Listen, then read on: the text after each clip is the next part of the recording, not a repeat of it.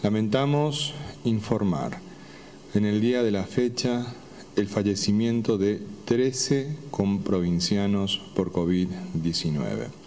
En las últimas 24 horas se han realizado 4.517 test de vigilancia y búsqueda activa de casos, arrojando 534 de ellos resultados positivos a coronavirus, con un 11.8% de positividad en personas de entre un año a 88 años de edad, correspondiendo estos casos a Ciudad de Formosa, 373, Misión Leixí, 20, El Colorado, 16, Palo Santo, 15, Clorinda, 13, Estanislao del Campo, 12, Ibarreta, 10.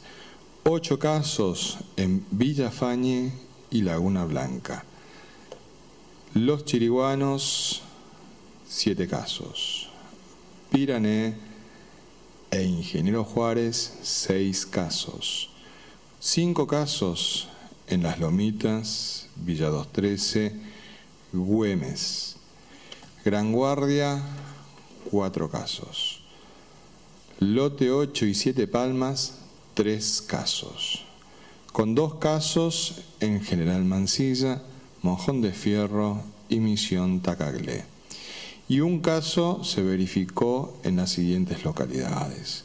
Laguna Neinec, La Primavera, Riacho General Belgrano, Subteniente Perín y Villa Escolar. Ingresos desde otras jurisdicciones, tres casos, uno desde la provincia de Corrientes, otro desde el Chaco y el último de la provincia del Neuquén.